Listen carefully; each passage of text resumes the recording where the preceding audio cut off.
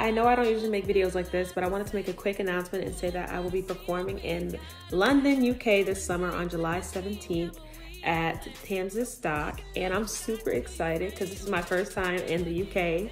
And you know, I got a long ass set and so it's gonna be lit. I got backup dancers, I got a videographer, and so I'm just super grateful for this opportunity.